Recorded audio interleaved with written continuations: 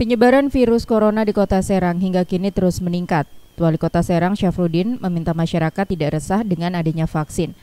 Meski masih menunggu, vaksin akan disiapkan terlebih dahulu untuk tenaga medis, disusul oleh TNI Polri dan PNS karena mereka garda terdepan dalam menangani corona. Ada vaksinnya untuk COVID ini itu uh, pemerintah Kota Serang menyambut baik karena bagaimanapun juga uh, penyakit itu kalau belum ada obatnya masyarakat itu resah.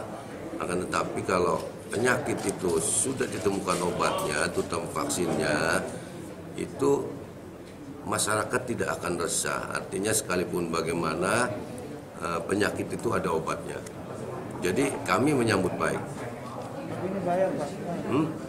Kalau urusan bayar itu urusan gampang. Yang penting penyakitnya dulu bisa diobati.